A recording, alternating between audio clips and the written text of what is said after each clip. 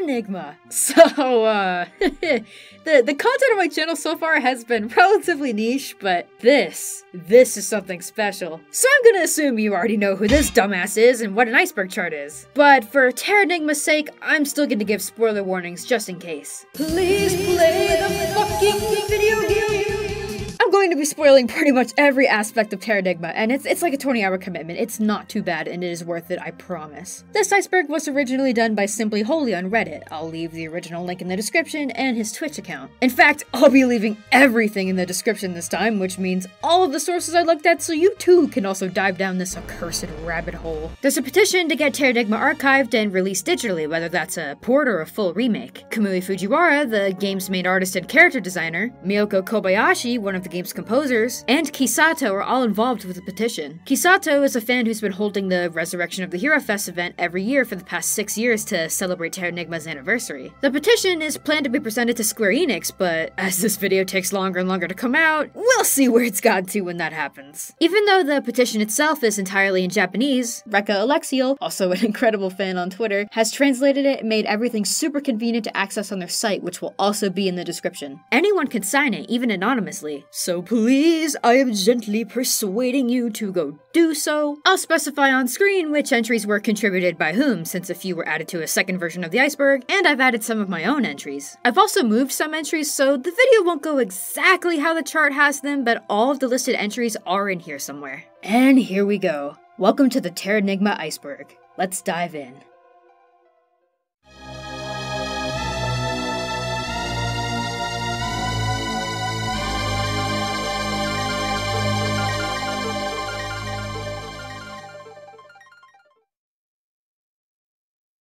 Hollow Earth. The very first thing the game shows you is exposition text over images of a desolate looking planet. It has all of our real world equivalent continents, but is said to be a hollow sphere with an internal and external face. The Gaia Stone, which is functionally the sun, is even the core on the game's box art. In game, the world map is actually a donut shape or a torus for all you math people out there. Cadet Sexy Look. Cadets are these ghost enemies that are only found in the beginning chapter of the game. They can hit you with a look that either immobilizes you for a few seconds, makes nothing happen, or it gets reflected back at them. Sometimes, though, the text will instead say, Cadet cast a sexy look. It's not a different attack or anything, just a fun piece of text you may or may not encounter. Sonic the Hedgehog reference? No, no, not explicitly. Uh, but maybe. Ark has a surprising amount of personality conveyed entirely through his animations, including his idols. Yeah, he's definitely as impatient as Sonic. The blue blur's gotta go fast. Macho appeal. After completing the five towers in the underworld, you can enter a secret cave located here, west of Tower 5. Getting through this cave resurrects Polynice, which you can visit on the overworld here. The only things on the island are a couple of NPCs and beach chairs to lay on. Napping here will leave Ark sunburnt when he wakes up and an increase to his macho appeal. Macho appeal doesn't actually do anything, it's just another little fun piece of Easter egg text. And no, the girls in freedom don't do anything for you either. Resurrecting Mu. Continuing with secret areas, there's another island you can unlock on the overworld after finding it in the underworld. This secret cave north of Tower 3 holds a control room that resurrects Mu, an area from Terranigma's predecessor, Illusion of Gaia. Reaching Mu on the overworld grants you one of the four special weapons, the Enbu Pike. It's a decently powerful endgame spear, though I find it more interesting that it has a similar look to Terranigma's final boss. Not sure if that or the name of the spear means anything, though. The text. As you can tell just by looking at it, the text in this game is not ideal. I don't mean the translation or actual dialogue, but the way the dialogue is presented. Supposedly, there was little effort to reprogram the way text displays to accommodate for all the non-Japanese versions. Wide text, the windows having an extra line just to fit all of it, and plenty more technical issues not present in the Japanese version according to my one source, but I'm really not equipped to understand much of it, even if I were to go back to it with a fine-toothed comb. One of the most obvious things, however, is that a lot of location names are shortened to fit the 8 character limit. Sanctuary is Sanctuar, Evergreen is Eve Green, Sylvain Castle is just Castle, Southern Europe is Aesir, you get the point. There are plenty of instances of typos and text getting cut off too. Cape Town. Traveling past the tip of Africa prompts the location text Cape Town and Kalahari to appear. It was one of Terranigma's early mysteries as to what Cape Town was or if it was accessible in any way. I mean, it's such a large stretch of land, and Cape Town is a real place that Ark could have visited. Using cheats, however, there's nothing past the mountains. No towns, no sub areas. There were rumors of it being the location of the 100th Magirock, which is not true by the way, there were only 97 Magirocks in the game. But it's more likely there for the sake of putting real world names to locations, and perhaps a nod to Illusion of Gaia's South Cape Town, which is also located at the southern tip of a continent. Talking Squirrel. Up to a certain point in Terranigma, you can talk to various plants and animals. Once humans are resurrected, this is no longer possible, but supposedly there is a single squirrel in the war that you can talk to. Not true, actually. There is a dog in Loire upon arrival, but no, can't talk to him. Nor at any stage of Loire's expansions are there any more animals. After humans are resurrected, though, there are still a few animals that have regular dialogue. A merchant bird in Sanctuar, and on this tile in Europe, south of Liotto, are these two kangaroo rats who you can race for a Magirock. The bird actually makes sense. He has text for when Ark can still understand animals, and even after Ark can't talk to them.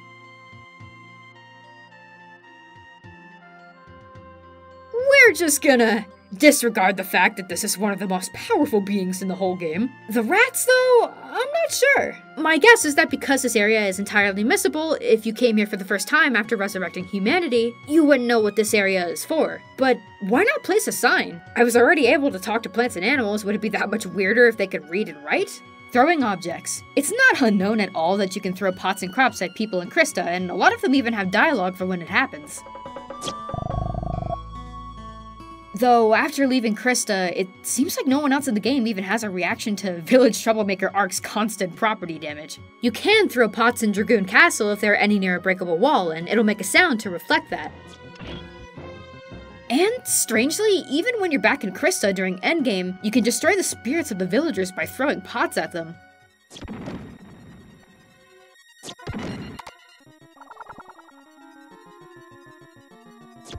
But not much besides those two instances. There is, however, one spot where you can trigger something unique by throwing pots. This house in Liotto has a woman and a monkey in it. If you're a monster for some reason and throw the pot at the monkey, the woman will yell at you for animal abuse and kick you out of the house permanently. Seriously, you can't enter the house for the rest of the game. I mean, you kinda deserve it. Chicken races. On a singular tile located here in Europe, you can bet on chicken races. It's really not an ideal way to get quick money, but it's a fun little thing. Almost no one seems to know what this kid's deal is, though.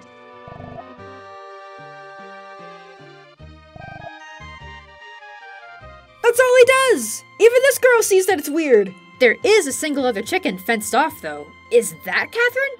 Actually, it probably is. Apparently, there's a chicken called Catherine in another Quintet game called Robotrek or Slapstick in Japan. Go figure! Still don't know what it means. Massage tent. At various points in the game, you can find a group of nomads on the map called the Quattros. In one of their tents, there's a girl who asks you to massage her back in exchange for gems. If you do it from the front, however. Enix references. There are a few references to what was just then called Enix throughout Terra Terranigma. The one in Yunko is the most obvious with the neon lights outside the Magirock shop. There's another in Neo Tokyo. The sign above what I guess is an empty office building for Enix says, Enix News, Dragon Quest VI coming soon! Slime slime. And the least obvious one being in the mountains to the east of Loire. Seems like the only thing here is a Magirock, but the word Enix is sneakily hidden among the ground tiles. Gaia Trilogy. Soul Blazer, Illusion of Gaia, and Terranigma are all unofficially considered a trilogy due to them sharing many similarities. I'm not going to cover all of them in the interest of keeping this video under an hour, but this is still going to be a bit of a lengthy section. In all three games, reincarnation is a big thing. Every living being goes through it, and there's a continually reincarnated legendary hero who is destined to save the world over and over again. They all have thematic ties, such as human ambition, environmentalism, the duality of light and dark, or otherwise two fundamental opposing forces, and what is probably the biggest theme the one that drives the design of these games, is destruction and creation. Similar items can be found in the games, such as the Phoenix Magic in Soul Blazer and Illusion of Gaia, now being the hero Spear and Armor in Terranigma. There are NPCs that share names as well, such as Service the Dolphin in Soul Blazer, him and Nana in Illusion of Gaia, and again in Terranigma. Some characters don't share names, but have obvious equivalents, such as King Magridd and King Henry, and Dr. Leo and Baruga. There are story aspects that you could use to connect these games as well, but to be honest, this is where things get iffy, at least for me. You could connect them, but the games don't have anything explicit to support that. They're all perfectly self-contained stories, and in no way are any of them direct sequels. They do all have some kind of image of a god and devil, whether or not they are called that or are the same across these games, I don't know, but they could be the same beings in Illusion of Gaia and Terranigma. The comet in Illusion of Gaia changed the layout of Earth at the end of the game and turned it into our Earth, which we see in Terranigma. The comet's previous passings could account for the differences in the planet's layout across the games. There is plenty more I could talk about, but honestly, I find some of these other aspects to be really weak links between these games. I'm also going to throw this bit from an interview with Koji Yokota, who was involved with ActRaiser, Illusion of Gaia, Robotrek, and Granstream Saga, that in the director's mind, although these games have a common thread, no question about that, Terra Terranigma is different from them. What I've taken away from all of this is that it's just as open-ended as these games are by themselves, and if you want to make your own conclusions, I can at least point you to the video in the description that fueled the majority of my confusion. It's interesting, I promise, I just don't have the brains for this. ActRaiser. Okay, I guess we're gonna talk about ActRaiser now. Though, honestly, I wouldn't say ActRaiser is connected to Terranigma much at all. If anything, it seems to have the most connections to Soul Blazer. They both involve the opposing fundamental forces, God and Devil slash Satan. We'll call him Satan since that's what he's called in the Japanese version of ActRaiser, but in English he is known as Tantra and God is known as the Master. The Master appears in Soul Blazer as well, though he simply guides Blazer after sending him down to restore the world, rather than animating a statue as an avatar himself like in ActRaiser. The Gaia that guides Will in Illusion of Gaia is also an animated statue. ActRaiser has very prevalent themes of death, rebirth, and creation and destruction as well, if anything is going to link all of these games together. Again, though, there are far too many individual references to go over, so I'll leave a link in the description for all of those. No, I'm not going to talk about ActRaiser 2. The iceberg does not mention it, and besides, I.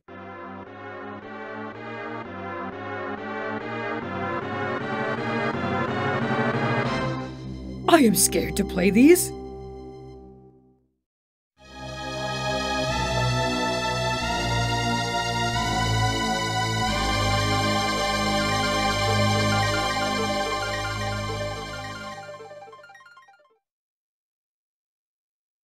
Humans are bad. I mean, that goes without saying just playing through the game, but look at the differences in the cutscenes when you resurrect animals and plants.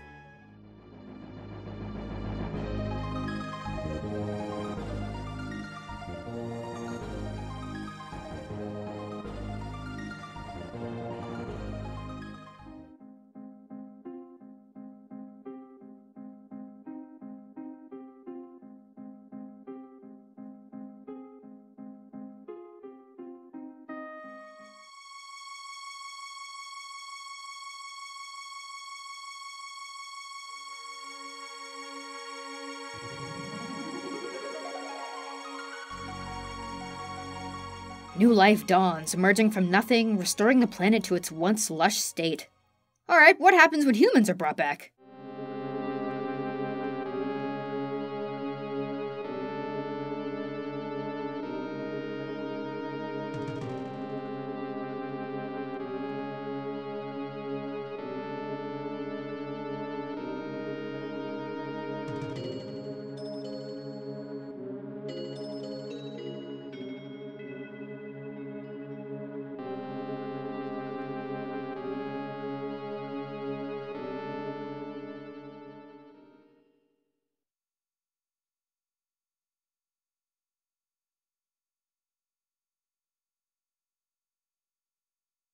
Well then. And as you progress through the game, you help almost all of the major towns develop, some being small agrarian societies and progressing all the way to computers, telephones, TVs, skyscrapers, airplanes. People find happiness through mass-produced material possessions, and money is now the only thing that can grant you any kind of freedom. Some people don't like how much everything has changed, and they wish they could go back to farming, being among nature rather than a cold, lifeless apartment. Some have lost their creative drive because they are now like machines working against time and money instead of doing what they want to do. You know, like modern day. Might I also remind everyone that Ark was in deep sleep for three years after defeating Darkmorph, and that was all the time humanity needed to create economic inequality. There's also the fact that animals are exploited by humans as soon as you bring them back, and it makes it even more impactful when you were the one who saved the animals and formed a bond with them in the first place. You can find King Bird locked in a cage in the black market under Freedom's weapon shop, but if you pay up 5,000 gems, you can get a Magirock from him in Sanctuar. In Safarium, however, I can't say exactly when this happens in the game, I'd guess after Baruga is resurrected, at some point you'll see that all the animals are gone. They've all been taken to a newly built zoo in the Suncoast. All except Liam, who you of course meet in the Neo Tokyo sewers, and it is entirely this guy's fault. The fact that he's gone from a child to an adult, how long has it been? Whose bones are down here? Even Ark falls into it eventually. Chapter 2 with the goat scene, Ark can't bring himself to eat the meat even in a life or death situation. Then in chapters beyond, once humans are brought back, Ark helps Mick to invent the hamburger, and there are plenty of all you can eat restaurants like this that Ark has no qualms about. He would eat whole flowers if he could stomach it. It is worth mentioning the plants too. Obviously, the more that the towns develop, the more land is now going to be occupied by buildings. Plenty of things are built out of wood and or plants, and maybe it's for the better that we can't hear what they have to say about that. Meeting the developers. This is a well-known easter egg, but it's still a really fun bit. Go to Neo Tokyo and check this trash can. There's someone inside and choosing to help them brings you to this messy room to fight a ghost. Defeating the ghost releases a chicken representing the director and scenario writer Tomoyoshi Miyazaki, who is sleeping in the company crash pad. He says he'll make a game with you as the hero and boom, Quintet's building opens up. You can talk to a bunch of Terranigma's devs here. Composers, programmers, graphic designers, planners, even the president. And a lot of them have some pretty real commentary about working in game development. The president and Miyazaki both refer to the game they're developing as Illusion of Gaia 2, which, oh god, is like a whole thing, and I'm sure I'll be talking about that in later entries.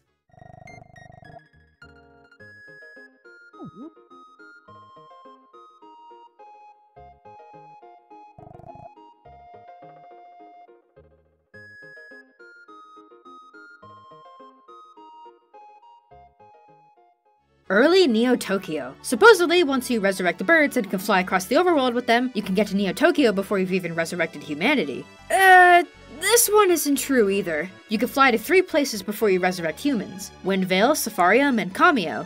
Is the island where Neo Tokyo will be located, but nothing is there until, again, humans are resurrected.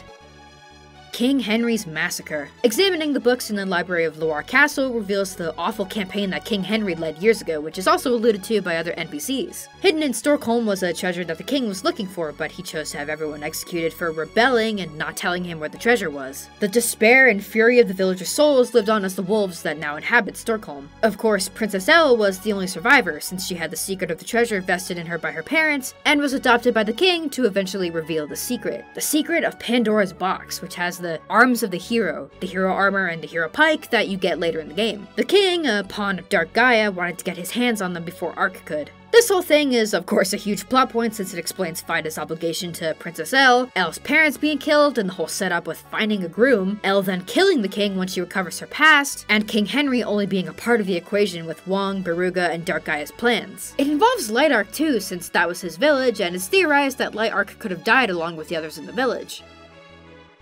Quintet Quiz. There's a lot more unused content in Terranigma than I thought, though not all of it is as interesting as the rest. There's standard debug stuff,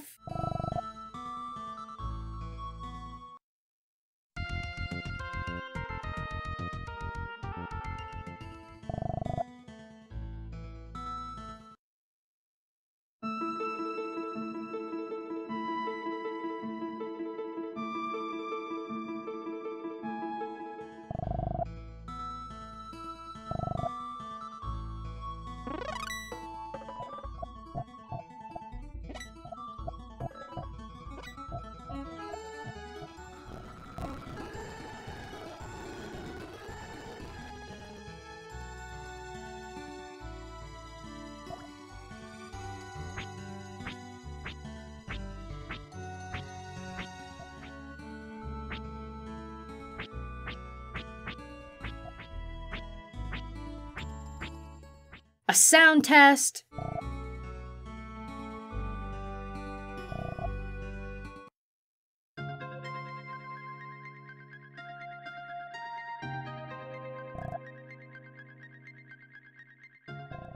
and some unused items. These include aloe leaves, a carrot, and heaven statue, neither of which have sprites, a grass whistle, airplane parts, a grenade, a beeper, and an item called powered gear. I would guess that most of these items were made redundant after other things were added instead, like the powered gear's description saying it allows you to lift heavy objects. The most Ark can lift are crops and pots, and there's no need to lift something like a rock or a certain plant since you can destroy it with the rock spear.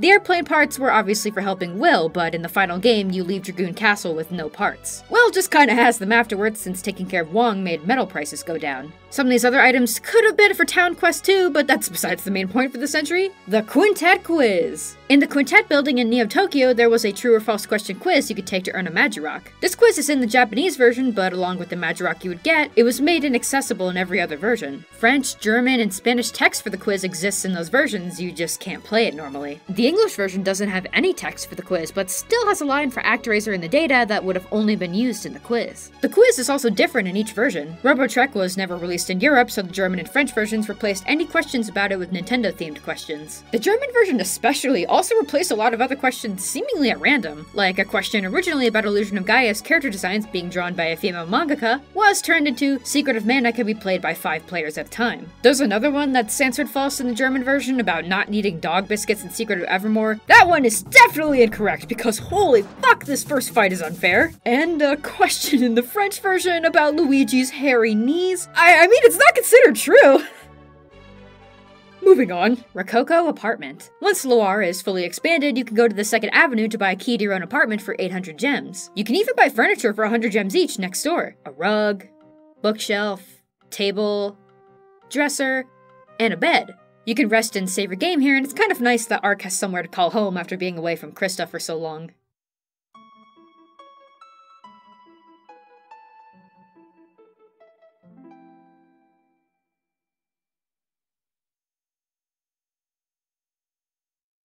Real world locations. Like I mentioned earlier, at least in the way Terranigma's Earth is laid out, it's close enough to real Earth. Almost every location also has a real world counterpart, and a map made by this person on Twitter lists every location in the game. Again, I can't go through all of them, but here are some that have close matches. Sylvain Castle is the Segovia Fortress. It's been used as a royal palace, a state prison, a royal artillery college, and a military academy. Just like how the game portrays Christopher Columbus and how the castle is filled with the vengeful spirits of Queen Isabella I and her staff, uh, yeah, totally. Close enough. The portraits are a nod to a real thing, though. There's a painting of the Queen's coronation, and everyone's eyes.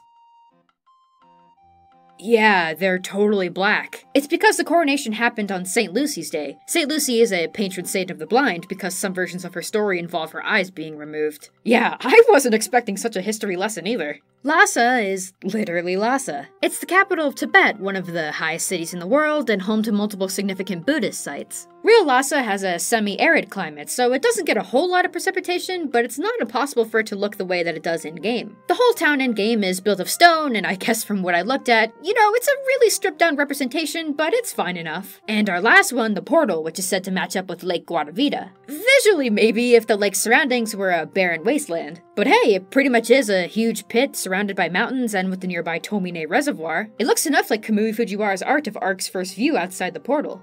Now, I don't know where this description on the site comes from because, as far as I can tell, this lake is super famous for being the basis of the El Dorado legend, but that's cool too. Meilin, Meiho, and Parel's disappearances. At the end of Baruga's lab tower, Ark has to catch Baruga before he takes off in his airship and is helped by side characters Meilin, Meiho, and Parel. Ultimately, they're all separated and they aren't mentioned past that point, so it's not known what happened to them. Hidden Sewer Door in Dragoon Castle. This one I'm honestly not sure what it's referring to, but there are two possibilities. One is while you're escaping Dragoon Castle, Ark is stopped by Meilin in the sewer even though it looks like the path goes further. Dragoon Castle is also not accessible past this point, so there's no way to go back and see if anything's there. Looking at the whole map for this area, there is a path on the right side, but it leads to nothing. And I know this entry refers to a sewer door, but there isn't a door here. There is a hidden door somewhere else though. At least the possibility of a door. It's actually right before this area while you still have Elle with you and Meilin is leading the way out. This path here leads to this room and it looks like one of those walls you can run into with the speed shoes. It doesn't break open, but attempting to do so does prompt a reaction from Meilin as if it were any other door. Hmm.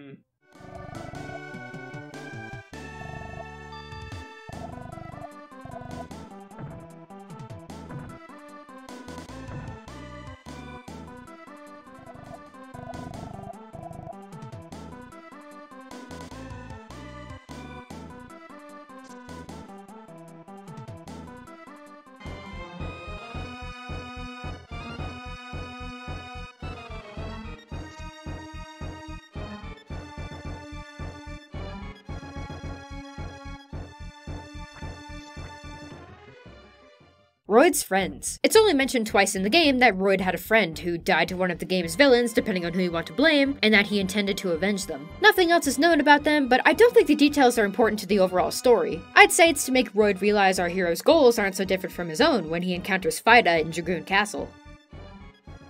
Light Side Ark. Light Ark is the hero you never play as. He was created by Light Gaia to defeat Dark Gaia and end their eternal conflict, which he succeeded in doing, but died in the process. Collecting the Starstones near the end of the game brings back his spirit so that he can fuse with Dark Ark and give him the power to defeat Dark Gaia. And that means he reverts to being a baby, I guess. I'm still not sure what the hell is happening in this scene. There are lines for various characters that talk about the light and dark sides of Ark as well, from these monks in Lhasa to Light and Dark Gaia themselves. He's even alluded to once in a book in Sylvain Castle, far before you get any real mention of him or meet him. The world is steadied by a balance of light and dark. When that balance is disturbed, a hero will appear to restore it. The hero will fight courageously with the weapon first held by man. Canon cycles of light arc failing. This one is gonna involve a bit of speculation. While, yes, in game it's definitely established that there is an ongoing cycle of life, it's never explicitly stated how many times it's happened already. We only know that it's still locked in that cycle. But I think I can see where that comes from. Not much in this game is stated very clearly anyway, so I can go with this. The clock shown in the intro of the game ticks down to its last hour as a brief history of the world is being described. The hands fall and a 13th hour appears. When you meet Lightside Ark in game, he talks about the same idea. Earth's history being likened to a clock, and that the 13th hour is a time that must not exist. It may not necessarily mean that there have been 12 cycles with our hero Dark Ark starting the 13th, but it's the idea of things being out of balance. I like this game FAQ's explanation. In Baruga's world, or more accurately Dark Gaia's world, where life does not continue naturally and is instead stagnant because everything lives forever, the world breaks down time can't continue properly past that point because no progress can be made. And it is Light Ark's destiny to die at some point in every life cycle. Light Ark was created by Light Gaia to stop Dark Gaia, Light Ark dies in the conflict, it just keeps happening as Dark Gaia tries to take over the cycle. Light Ark is also within the loop of fate, unlike Dark Ark, who is unique to the cycle happening in the game. So Light Ark is the one that keeps getting reincarnated to fulfill his fate. There isn't just a single grave in Dryvale for nothing. At least, that's how I interpret things.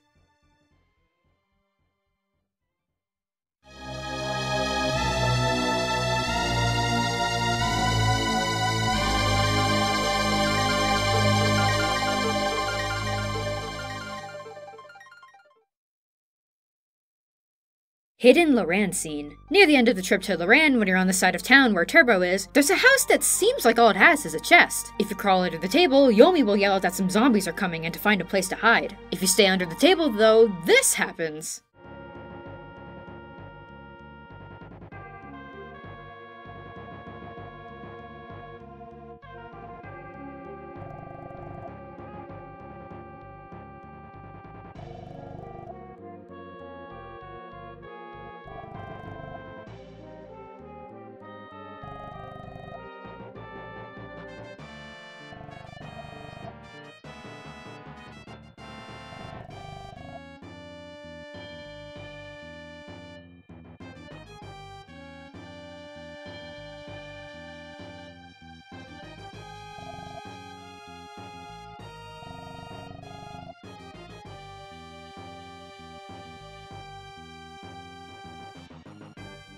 Cut off areas of Polynese and Sahara. Polynese and Sahara have one other thing hiding in them. I don't know much about the technical developmental side of this game, but I would guess it's something to do with that. Most towns or sub areas will let you walk back onto the overworld map if you just go off the screen in any direction. But Polynese and Sahara have a couple of tiles in the top left corner that let you go off screen at a certain distance. The camera will still follow you going left to right, and there are even a couple of objects you can bump into.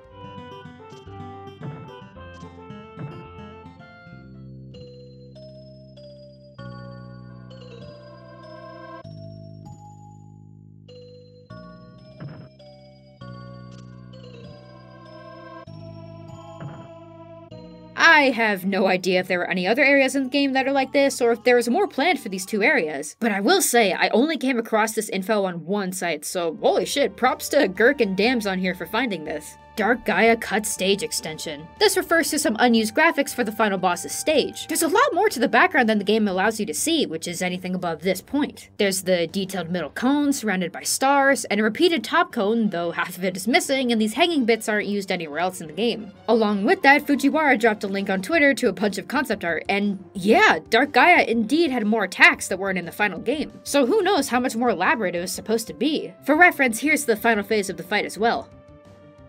Ending Bird or Ark. The final cutscene shows Lightside Elle being awoken by a knock at her door in the middle of the night. We don't get to see who was at the door, but it's speculated to be a variety of things. Ark reincarnated as a bird as a gift from Light Gaia, making his dying dream during the credits real. Or it could be Ark himself. After defeating Dark Gaia, Light Ark tells Dark Ark that they must return to their respective worlds. So perhaps Light Ark returns to Elle. Maybe that scene with Elle is just a part of Ark's bird dream. Bird Ark lands in a forest, and you can hear bird calls as Elle answers the door. The Krista theme plays once Elle answers the door, and there's even outside media with its own suggestions. The Tenchi Sozo gamebook illustrated by Kamui Fujiwara himself has this as the end page. Now, this could be part of the dream, or maybe that really is Ark. The book is entirely in Japanese with no translation I could find, so no hints there. I'd like to think that this still says things are open to interpretation though, because first of all, this story has been really confusing for me to piece together, and of course, it's entirely intentional that the ending is open to interpretation. That's part of what makes it so impactful after all. We'll get to that gamebook too, but it doesn't have anything more to do with how the ending goes down, as far as I know manga adaptation. Illustrated by Mamiko Yasuka, there's a manga adaptation that covers Terranigma in two volumes. And holy shit, it's actually really good! So, okay, it hasn't been translated to English officially, but there is a fan translation done by a team called Glacier Rebellion of the first volume. The second volume is definitely out there. I did find all of its pages, and it's very cool that this even exists. The second volume doesn't cover the entire rest of the game. It appears to stop after Ark defeats Beruga himself and everyone is back in Crysta safe and sound, which is definitely not how things went in the original game, but at least they got a happy ending. Seriously though, if I could tell you to buy this manga, I would. At least go and read it for the sake of the translators. It's got some great moments in it. Lots more personality is given to Ark. I didn't interpret him acting as strongly in the game as he does here, since we get these extra moments, but I can totally see him being like this. It follows the plot of the game, albeit with some changes that I feel either couldn't be portrayed in the game due to technical limitations or for the sake of storytelling. Like, the whole village is covered in ice instead of just the villagers being frozen, Ark only goes into one tower instead of five, and he doesn't doesn't have to find the giant leaves to swim or the raw dewdrop to fight Parasite. He just has them after almost drowning in one panel, and he defeats Parasite by holding his breath, even after being covered in poison, but it's whatever. This dude gets fucked up in one panel, and then is pretty much fine the next most of the time. And I do mean that, like, I wasn't expecting there to even be blood for some reason, but Man. Okay, so Ark goes off to resurrect the birds, and when he gets to Great Cliff, the demon boss birds are already there. Yomi gets grabbed, and Ark gets grabbed trying to save him. While being held onto by the bird, he cuts its feet off, launches his spear into its stomach, and the other bird attacks Ark, resulting in him losing a foot. But oh my god, dude, it's so good. I don't know what I was expecting, but it wasn't that. Yasuka's art is also great. Like, like, look at this, look at this. Volume 2, page 42. Oh my god, him! Look at him! Sorry, I'm fucking rambling, but this is so cool, and I don't think I'm gonna get to talk about it in any other form, so please, please, links in the description. Also, if you ever wanted to see Ark swear, well, he says damn in hell a few times, so there you go but come on. Let him say fuck! German comic. This one was actually a bit of a journey to try and find. Um, Club Nintendo. It was a bi-monthly magazine in Germany that published from 1989 to 2002. It is different from the discontinued Club Nintendo loyalty service that we had, and really it's a German version of Nintendo Power. These magazines had exclusive comics in them that were drawn by Japanese manga artists, and the stories were thought up by the magazine editors. Somehow, among comics with all the big Nintendo boys like Mario, Link, Kirby, and some otherwise huge characters like Banjo-Kazooie, Terranigma got one that attempted to cover a lot of the main story events. These comics were never released in any other form, so of course if you want to read them, you've got to hunt for a fan translation. Someone on Game FAQs had their own translation of the full 32-page comic, but it's a post from 8 years ago that has since had all of its hosted files expire, and they haven't logged in since 2015, so that was a dead end. Someone on Reddit had also posted about the German comic, with someone in the comments offering to translate, but I didn't find anything else from them about that. However, I did find a spreadsheet for all of the Club Nintendo comics, and luckily Terranigmas did get translated. The only thing is that it's not the full 32 page comic, and the comic itself is really strange. Like, the other people in Ark and Elle's houses in Crysta were just friends or neighbors as far as you could tell in the game, but in the comic, some of them are Ark and Elle's parents. Underworld Elle's hair color is also closer to Overworld Elle's hair color, or just straight up blonde. And for some reason, she's called Soraya? I have no idea where that comes from. She's not called that in any version of Terranigma, and her name in the German version is Melina. The translators even acknowledge it at the end of this issue, so yeah, who knows. We're gonna need to go back to that Reddit post though, since the link posted is the only place where you can find the rest of the comic. It progresses really quickly, which is totally fair because there's no way you could fit all of Terranigma into something like this. The parasite fight and the resurrection of birds and animals are all in one panel. Ark immediately finds himself in Eklemata, and there's Darkmorph. Oh, uh, we're already in Lhasa, and we're running out of time. Okay, exposition dump, Loran and meeting Meilin, even got Turbo in there. Very next page, we got the looming threat of Beruga, and it ends there. It's definitely interesting that this even exists. Like, how do they make this happen?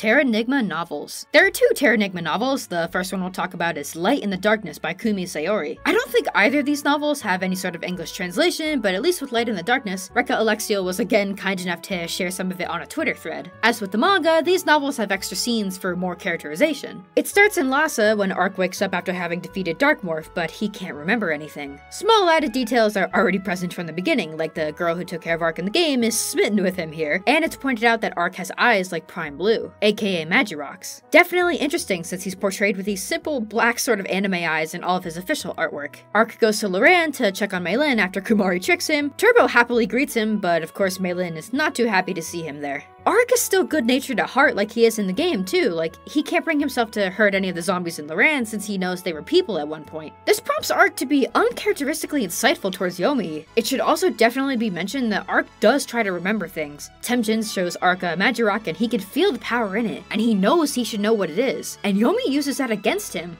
Loara Castle seemingly pops up out of nowhere, and when Ark asks Yomi what he means when he mentions it, Yomi just says, you don't need to know.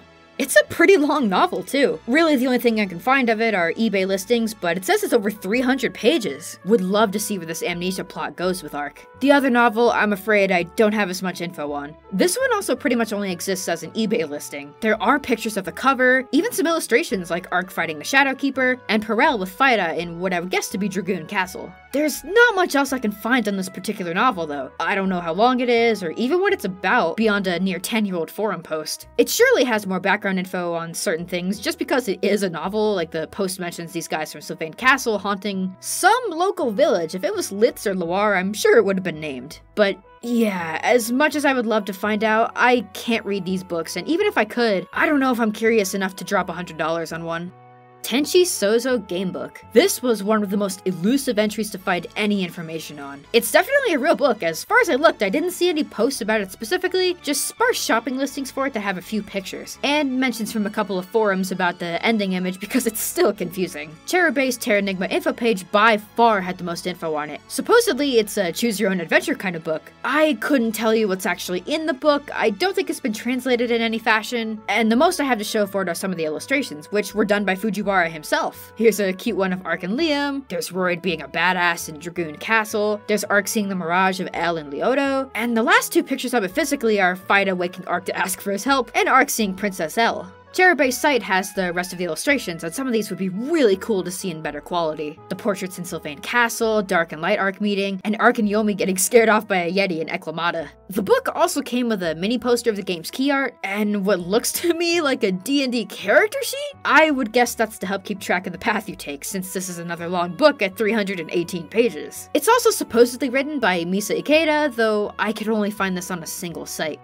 Terranigma World Atlas. Wouldn't you know it, I couldn't find very much on this one either. And I'm not even sure what it is to be honest. Pictures from sales listings show guides for dungeons, enemy and boss descriptions, layouts of towns, and locations on the overworld map. So, like a guide or a strategy book, right? Well, Terranigma had that already. Actually, I shouldn't say already, it seems like the Atlas came out before the official guidebook. I'm not sure what or who Aspect is, or if it's a part of the inevitably wonky Google Translate of this archived page, but I'm just going to guess that the Atlas is a third-party guidebook. And again, taking the translated text with a grain of salt, their contents seem very similar, not to mention the fact that they came out so close to each other and are similar in length. At the very least though, the Atlas should have illustrations that can't be seen anywhere else. The strategy guide has plenty of full illustrations in it which have been circulating the internet for a while, and have since even been posted by Kamui Fujiwara on his Twitter. I couldn't find the atlas in full, but there are some unique drawings in it. Here's a picture of what the Earth in Terranigma is supposed to look like. This one is not the same, but similar to part of the bird resurrection sequence. The clash of prehistoric and I want to say modern, maybe medieval would be better here. The epilogue page, which makes me wonder if they're alluding to the entire Quintet universe. And finally, what I think is the most interesting find. Something about this is so cool to me. It might be because this is the first time I'm seeing this. It's only in this book as far as I know. Like, I would kill to see this uploaded in high res. And the fact that it shows light and dark Ark together like that, I don't know. I guess I'm just a sucker for this art trope since I've seen it a lot elsewhere. Ark's original design. Ark had quite a few design iterations as we can see in the concept art link that I mentioned earlier. They're neat, like a couple of these give me Dragon Quest vibes, which is funny since Fujiwara has worked on Dragon Quest manga before. The small details on this make me think of Wander from Shadow of the Colossus. We've even got a younger Ark and what I would guess is a modern version of him. But there's another version of him I want to talk about. Yep, that's literally it. Ark was originally intended to have blue hair. Take this with a grain of salt because Google Translate, but the color of his hair and clothes were meant to represent the planet, the blue being the sky or the earth itself, and his clothes being the dirt and magma. I don't know if all the other little details on his clothes are meant to be anything, but it's just cool. He has more intent put into him than I initially thought. His hair was changed to blonde in the final game since it helped him to better stand out against the game's backgrounds beta version. Brute Press, a Japanese video magazine centered around video games, showed off a beta version of Terranigma in a July 1995 volume. Plenty of stuff is different, plenty of stuff is there as a placeholder. There are green elements around the HUD that aren't in the final game. This menu is definitely a placeholder. The layout of the first tower is different. In the final game, this room is on the third floor, not the second floor. And seen climbing the first tower without claws or chains. There are a bunch of magazine screenshots as well, with plenty of differences. The room you enter to resurrect the continents is different in color and has only three three doors instead of five. Ark has a green spear against Parasite, even though the only two green spears in the game can't be obtained at this point. This time, he has the claws as he climbs up a tower, and graphical differences on said tower and Parasite. Some areas also look different, like the corner of Crysta with the shops had more going on in beta screenshots. This town seems to have gone completely unused, and this crazy looking overworld town. The beta has yet to be found, but it could be out there somewhere.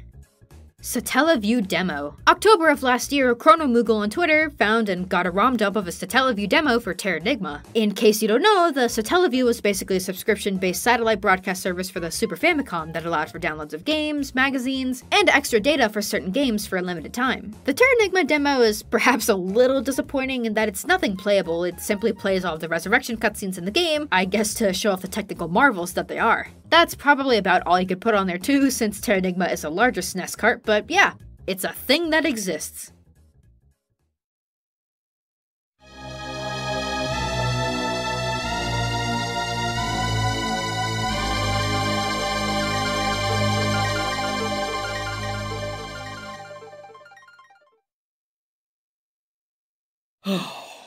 Eating your husband. Oh my god, that's awful. I can't just say that shit. Okay, so Eklemata is a snowy mountain Ark has to climb to resurrect humanity. Near the end of this area, you're sent tumbling through a cave and out into the mountainside. This triggers an avalanche, leaving you and two goats stuck in an icy cave. One goat is already dead, and the remaining goat tells you that was her husband. Darkness falls on the cave, so Ark and the goat huddle for warmth. Once light returns, the goat asks Ark if he's hungry, and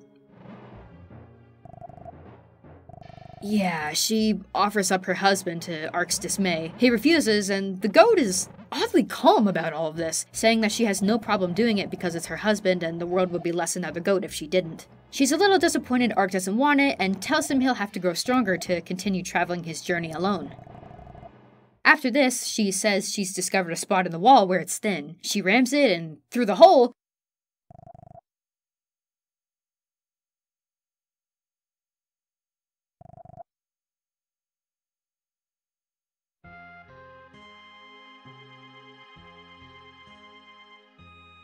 Well, it can't be helped. You have to leave her with only a glimmer of hope that she can make it out herself somehow. You can return to the cave after the resurrection of humanity, but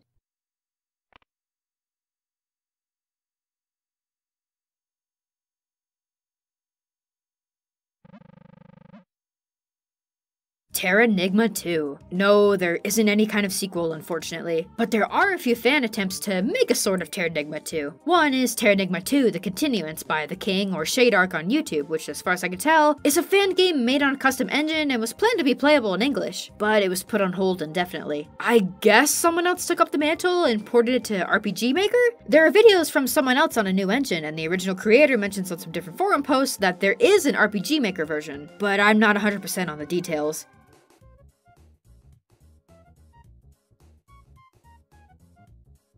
And by a different forum post, I mean that there's a German forum dedicated to this game, but I can't access any of the posts without making an account. The game also has a download link, which wouldn't be of much use to me, and clicking the link for it on YouTube.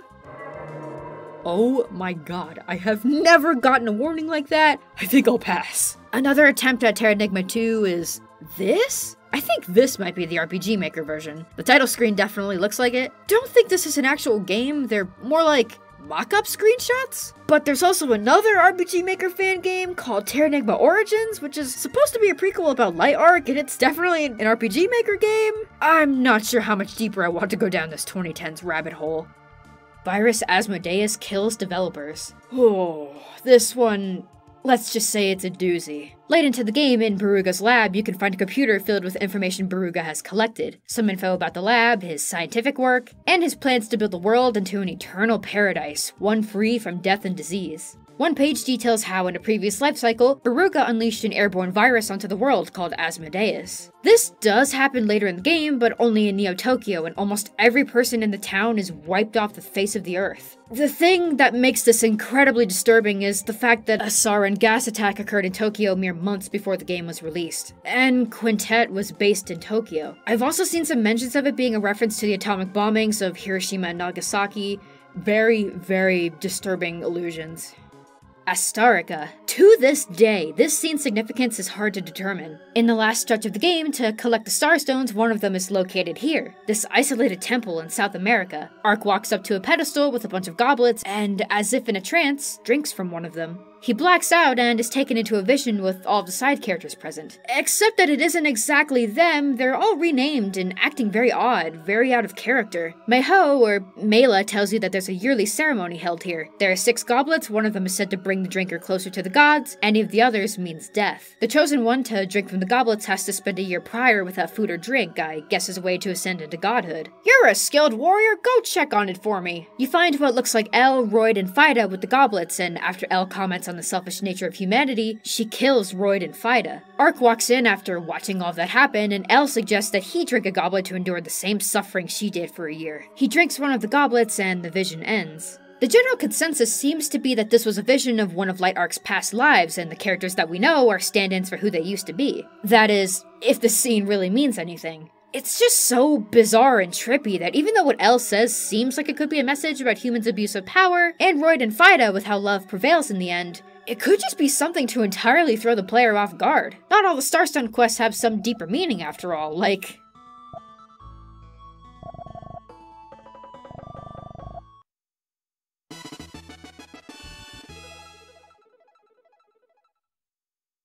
I never thought I'd be okay with being robbed. Goddess Elle, though, that might be an even bigger mystery. What kind of god is she? Is she being influenced by Dark Gaia? Did Dark Elle inherit her powers from Astarica Elle? What happened to her after this? Who knows if any of this is important to the overall story. And as a quick side note, it doesn't actually matter which goblet you pick to drink from, all of them lead to the same result. Yomi is Luca. During some of the last cutscenes of the game, Yomi has a final conversation with Ark. At one point, Ark asks exactly what Yomi is. Yomi says, Ark, up to now you've met countless living things, right? Birds, four legged animals, even mermaids with flipper tails. All living things evolved the way they are now from one creature. Before evolution started, they all looked like me. Yomi is suggesting that he is Luca, or the last universal common ancestor. Luca is thought to be the organism that all current existing life is a descendant of. Not the first life form, not the origin of all life, it's just a population of organisms that is ancestral to all current life on Earth. I don't think this is important to anything, and it doesn't make much sense anyway since Luca is thought to be a single celled organism, which Yomi definitely is not. And finally, The Demiurge Theory. The concept of the Demiurge is a very real one. It's a part of Greek philosophy that was adapted by Plato, and if the Wikipedia page is anything to go by, it is a lengthy concept. I'll try my best to explain it in layman's terms and how it relates to Terranigma's story, but I will say now, I am not a philosopher or a scholar, so I could be a little bit off. The Demiurge is a lower god or deity that is responsible for creating and maintaining the physical world, but it's not that god. He just arranged pieces that were already there. The term was later adopted into Gnosticism, and the demiurge was then viewed as a force of evil since he inadvertently created a material world, while that god was a force of benevolence. The demiurge believes he's a higher god than he actually is, and thinks he's acting in the best interest of man. He leaves mankind as ignorant as he is, and thinking he's the only god there is. So Jesus comes in to grant knowledge, or gnosis, to mankind to break the illusion that the demiurge created. He recognizes humans as intelligent beings with lots of potential, which the demiurge does not have. This seems to reflect the story of Light and Dark Gaia as explained in Terranigma's intro. Two gods that created and now maintain the world, one being responsible for the evils of the world and preventing humanity from progressing, and the other making way for intelligent beings. As far as I understand it, I still would not say that Gnosticism is behind a lot of the themes in Terranigma. It's there, but you could argue that for a lot of JRPGs where you punch a flawed god in the face or your character is considered godlike by the end. But it is something to think about.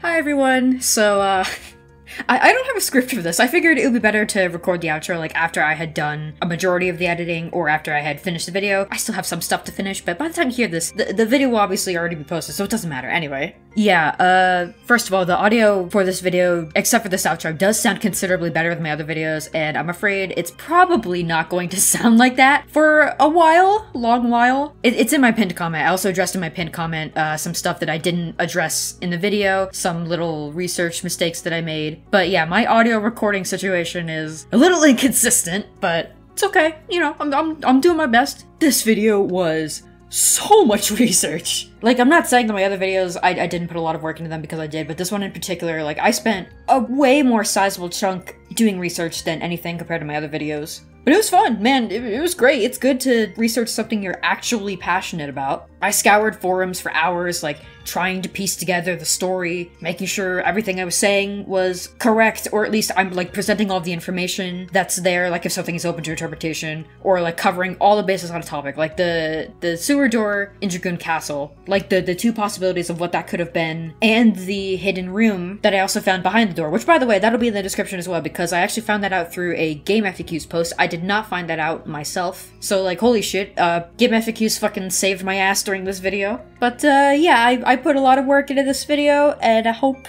everybody likes it. I hope there's nothing I'm majorly wrong on. And of course, shoutouts to Holy, his Twitch will be in the description, and the Iceberg. Shoutouts to Rekka as well. I'll link her Twitter. Of course, I'm going to be linking the, the site where it has her translation and all the info about the petition. I'll link her YouTube as well. She does stream, last time I checked, she was streaming the ActRaiser remake, which is actually super exciting in regards to Quintet games as a whole, having a chance at getting a port or a remake yeah, uh, I hope I'm not forgetting anything. I am kind of recording this on a whim. I'm not sure what my next video will be. I don't have any ideas that stick out to me right now. It could just be like a standard other game review, but we'll see what happens. I think I said, I think, I can't talk. I think I said something similar at the end of the El Shaddai video. I don't remember. I don't actually go back and watch them. So, yeah. Peace out. Hope y'all are doing well.